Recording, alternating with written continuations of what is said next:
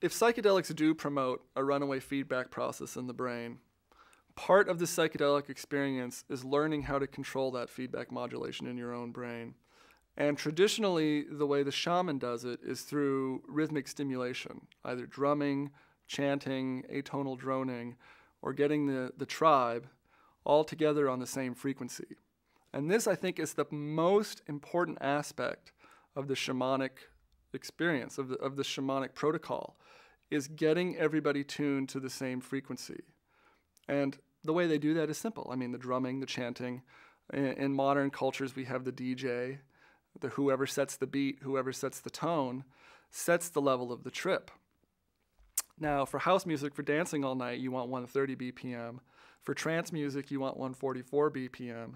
And these two different modes create different, completely different mindsets in the people who are listening to them.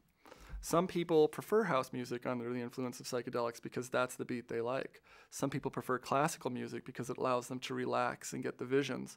Some people like trance music because they get the energy and the visions. Whereas house music is more all about the physical movement and the dancing. These different rhythms all drive the psychedelic experience by modulating this, this feedback intensity in the brain. And so, if we're going to study a spirit, a spirit formation or a spirit entity or a spirit gateway in the brain, we need to find out what that rhythmic stimulus is that most precisely targets that state and find a way to drive people up into that space instead of just you know administering the drug and letting them lie down and find this finding the space for themselves the shaman doesn't do that the shaman will lead you into the space leave you there, and then pull you back out. But once you get into the space, the drug basically does the rest of the work for the shaman.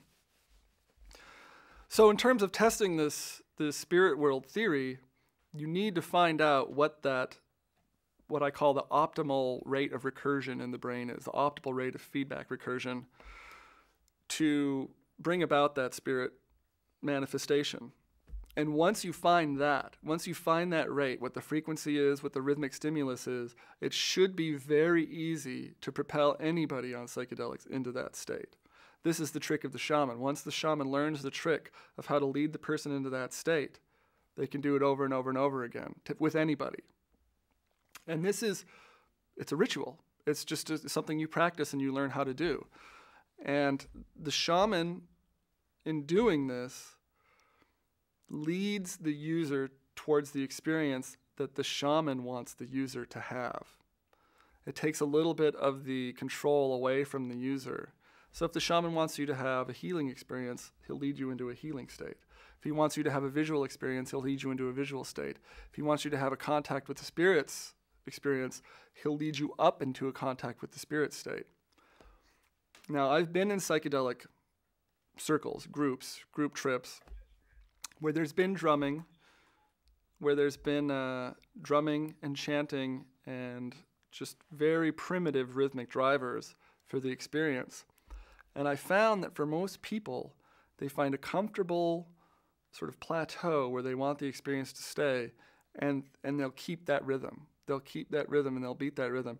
And if somebody in the group wants to cycle up higher, the rest of the group will, will drown them down and bring them back down to the rhythm that the group wants. And this is a very homeostatic, sort of loose uh, thing that happens in the group.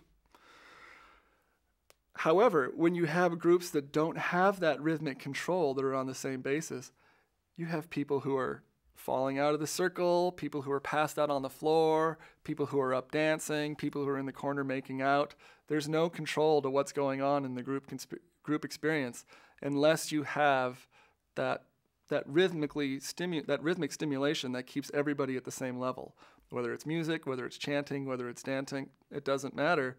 As long as that rhythmic stimulation is there, that will keep the person at the level that they need to be for the experience.